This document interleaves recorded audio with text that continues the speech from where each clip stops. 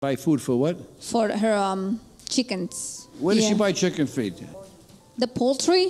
Oh, on the plaza. Yes, yes. Y cuando salí You know, I- para el carro, ahí I está- leave mine tenía el ticket de 25 pesos. Then the, the guy was, um, she waited like a long time. Then when she went to the car, she already had the $25 ticket there. Oh. But does she raise chickens? ¿Usted um, cría pollos? Sí, compré tres pollitos ahí para mi nieto, ahí, para que lo miren, ahí vivo, y le echo comida. Yes, she bought three of them, like for um, her grandkids. Are these chicks or are these chickens in the backyard? Are these little chicks? Little chicks, yeah, Oh, little chicks. In the Oh, backyard. you tell me that. Oh. yeah, for the for the grandkids. So she buy food and feed them. Oh.